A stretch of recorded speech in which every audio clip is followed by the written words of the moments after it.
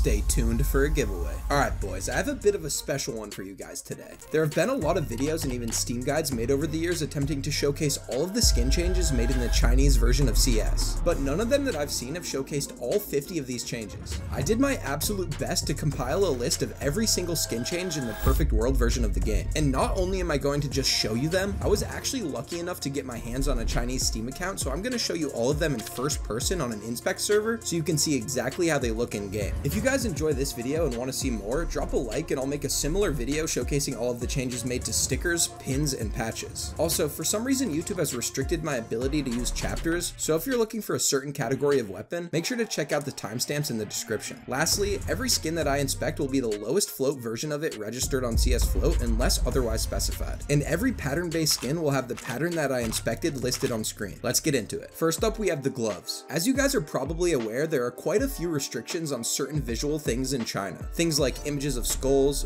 blood, various symbols, and even certain language scripts are received poorly. That's why a lot of these skins are censored. That being said, as you can see on the global version of the Bloodhound gloves, the top of the hand features the skull of a Bloodhound, which was completely redesigned in the Chinese version of CS2 as a paw. I'm not gonna lie, I think I might actually like the Chinese version of these more. What do you guys think? The only other pair of gloves in the game that received a change in the Chinese version of CS are the Cobalt Skulls hand wraps. As you're probably aware, the global version of these contains skulls all over the gloves, and the Chinese version of CS2 simply changed all of the skulls to gas masks, which you'll end up seeing as a common theme throughout a lot of these skin changes. What do you think about this change? Next up, we have the pistols, and the first ones on the list are the Dual Berettas Cartel. As you're probably aware if you're a longtime CS player, all of the Cartel skins feature skulls, and the Dual Berettas are no different. If you look very closely on the global version of the skin, there's a skull under the left thumb. On the Chinese version, that skull and the rest of the skulls on the weapon are completely gone. One other change that's only visible if you inspect it on the main menu is the casket on the top of the weapon. The global version features a skeleton in a casket, and the Chinese version features a closed casket that says RIP on it. That change is much easier to see in this screenshot. The next change is on the 5-7 Scrawl. As you can see on the global version of the skin, there's a relatively large skull present on the top right of the weapon just under the thumb. In the Chinese version, however, that skull is instead changed to look like a man's head with tape covering his mouth. Here's what it looks like in game without the thumb covering it up. Next up, we have the Glock 18 Catacombs. Much like the hand wraps Cobalt Skulls, the global version of this skin features a bunch of skulls throughout the design. On the Chinese version, however, those skulls are changed to gas masks. The same thing is true for the Glock 18 Nuclear Garden as well. The Chinese version of the skin changes the skulls that are present on the global version to gas masks. I personally love the design of the Chinese version of this skin because I think the gas masks actually fit the nuclear theme more than the skulls do. Next up is the Glock 18 Off-World. This is one of the few skins on the list that the design change doesn't occur until higher wears. The one that we're looking at here is the highest float one in existence, and as you can see on the global version of the skin, there's a skull scratched into the barrel. On the Chinese version, however, they just got rid of the skull altogether and put a few scratches in its place. Next up is the P250 Cartel. As you can see on the global version of the skin, there's a large skull on the handle of the weapon. The Chinese version, however, changes the skull to an oval shape with an eye in the center of it. The design is pretty cool and kind of reminds me of the Illuminati. Like many of the other skins on this list, the P250 Contamination is another pattern-based skin with skulls on it in the global version of the game. And much like some of the other skin changes, this one too changes the skulls to gas masks. Next up, we have the P250 Drought. Instead of human skulls, the global version of the skin features animal skulls. I think the designers of the Perfect World skins realized it probably wouldn't make much sense to continue the gas mask theme on animal skulls, so instead of changing them, they actually just completely got rid of them. If you look super closely, you can still see the outline of the skull, and you can also see remnants of the teeth. The P250 Muertos is another one that features a human skull on it. As you can see on the left of the barrel, there is a skull in the center of a few circles. On the Chinese version of the skin, they redesigned the skull to look more like a person wearing sunglasses. This change is much easier to see on a close-up of the skin. The P250 Wingshot is another example of a skin with a skull on it in the global version of the game. As you can see on the handle, there's a very detailed skull. In the Chinese version, however, they changed the skull to a masked man, which kind of reminds me of Bane from Batman or Thanos. The R8 Crazy 8 is one that's a little bit difficult to see. In the global version of the game, there's a tiny tiny white skull on the center of the barrel, and in the Chinese version, they simply change it to a white gas mask. This is mirrored on both sides, and it's easier to see on the menu inspect. The R8 Skull Crusher is another one where the design change is quite small and hard to see. If you look closely on the hammer of the weapon, the global version of the game features a mini skull that smacks against the barrel every time it shoots, hence the name Skull Crusher. This skull is changed to what looks to be a white bullseye on the Chinese version of the skin. It's also much easier to see on the menu inspect. The Tec-9 Toxic is another one that follows a similar theme to a bunch we've seen so far. The skulls that are present on the global version of the weapon become gas masks on the Chinese version. Much like the Nuclear Garden, I actually think the gas masks fit very well here. Next up is the USP-S Cortex. As you can see on the handle of the weapon in the global version, there is a very obvious skull with brain matter coming from it. If we take a look at the Chinese version, they seem to have made the facial structure a bit more rounded and changed the mouth to X's. I'm honestly quite confused about this one because it still looks like a skull to me. Leave your thoughts in the comments.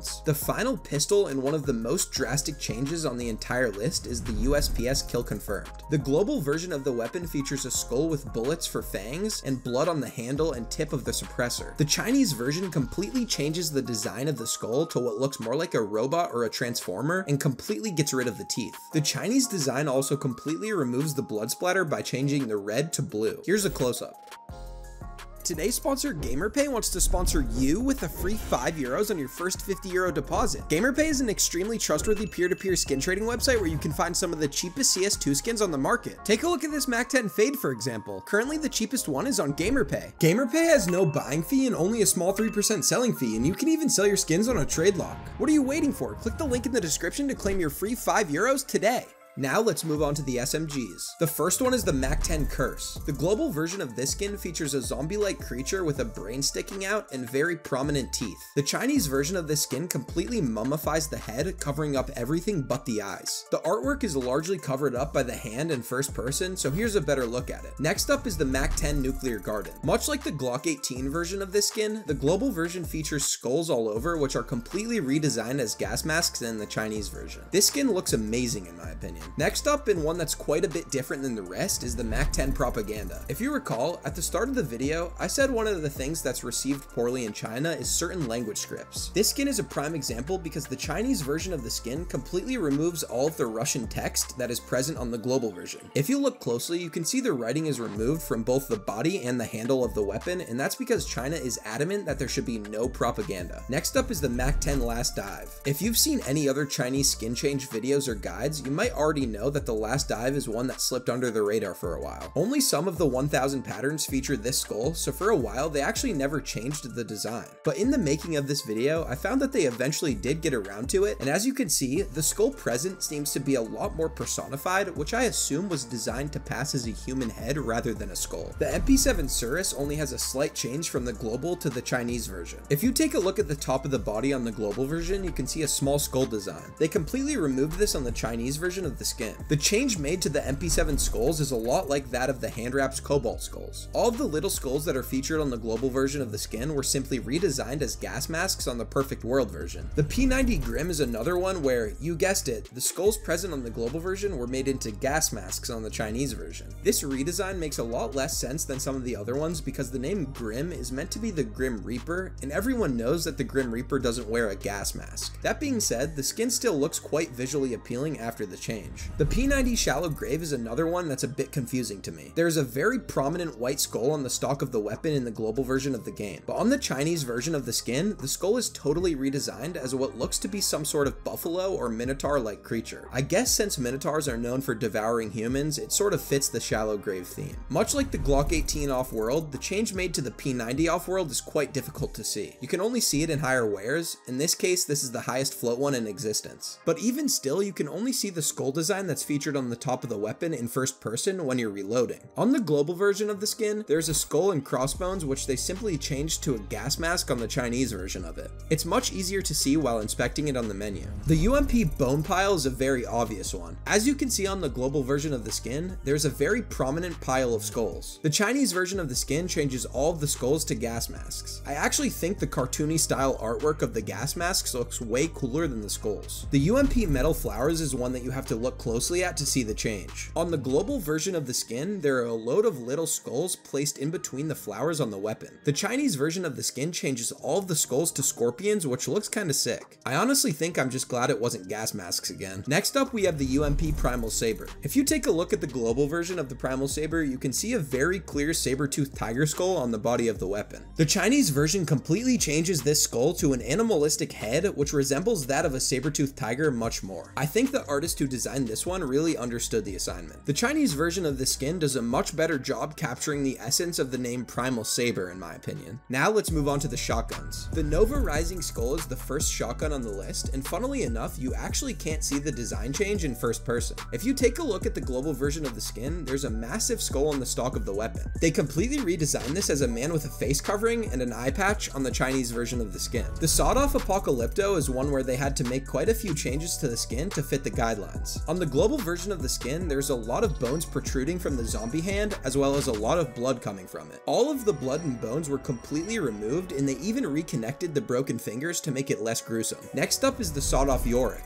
If you take a look at the global version of the Yorick, you can tell that there's a very prominent skull on the center of the skin. The Chinese version of the skin simply changes the skull to what looks like a Venetian mask. I honestly like the Chinese version more. The XM1014 bone pile is very similar to a lot of the other skins on this list. All of the skulls present in the global version of the skin are simply changed to gas masks on the Chinese version. This one is almost one to one with the Tec-9 Toxic. Next up, we have an honorable mention, which is the XM1014 XOXO. This is a skin that I saw a lot of conflicting information about while doing research for this video. Firstly, this is a pattern-based skin where the skulls are only present in a select few of the patterns. The pattern that we're looking at right now has the most visible skull of all the patterns, and as you can see on the Chinese version, it looks the exact same. I found a ton of information online saying that the skulls were removed and even found this screenshot displaying that. I'm honestly not entirely sure what happened, but as of right now, this skull is completely visible in the Perfect World version of the game. Now let's move on to the rifles. First up, we have the AK-47 Cartel. Much like the other Cartel skins, the AK Cartel completely removes the skulls present on the body of the skin. This version, however, seamlessly integrates the removal of the skulls into the metal engravings of the weapon, making it look like this was the original version all along. Next up is the AUG Plague. The change made to the Plague is honestly really hard to notice. If you look super closely at the global version of the skin, you can see a tiny skull in the center of the body of the moth. The Chinese version of the skin simply removes the mouth and nose of the skull, which I guess makes it look slightly less like a skull? I don't know, this one is confusing to me. Next up is the Op Acheron. This is another one of the skins where they redesigned all of the skulls present on the global version to gas masks on the Chinese version. Are you sick of gas masks yet? Next up, we have the Op Exoskeleton. This is probably one of the most well-known changes in the Chinese version of the game.